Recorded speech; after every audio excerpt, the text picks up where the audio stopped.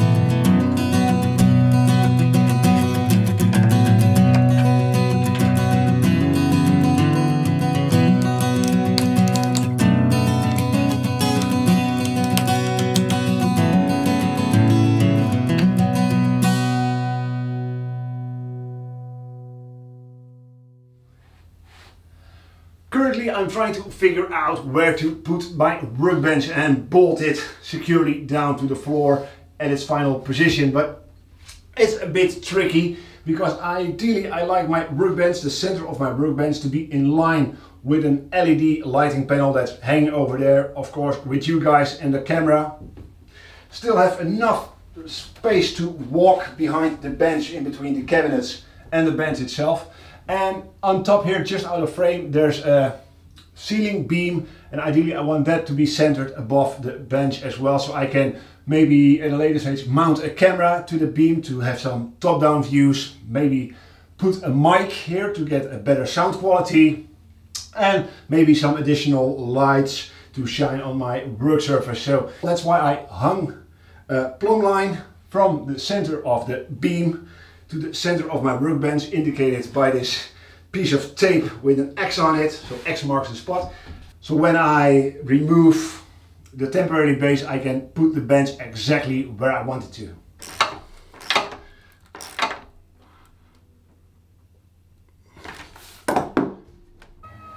Well, the workbench is all mounted and I'm pretty pleased. As you can see, it has no troubles at all raising me.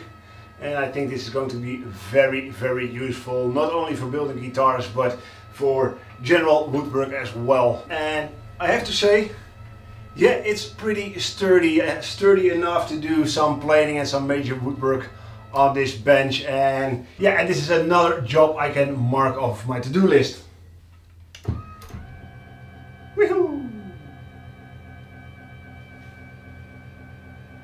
It's a bit slow.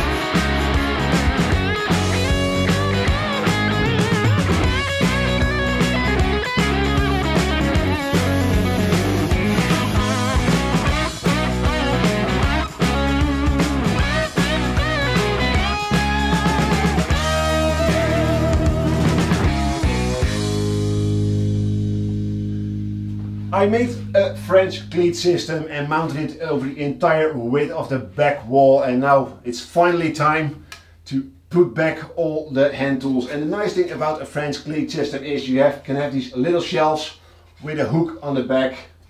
I can just put them wherever I want and rearrange the tools until I'm happy uh, with the layout. So that's what I'm going to do right now. I'm going to put all my hand tools back on the wall, rearrange them until I'm happy with the layout. It's nice and efficient and it also looks good for you guys as well.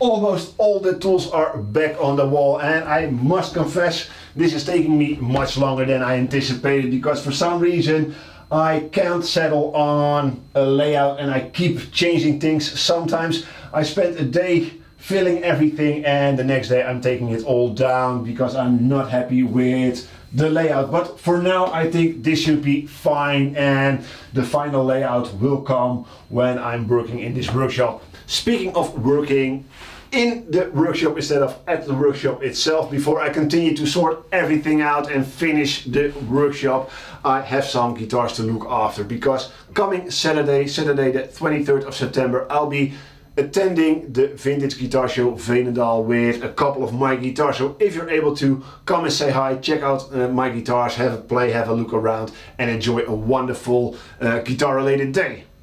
I'm going to attend to these guitars, get them show ready and hopefully get this video out in time to you guys.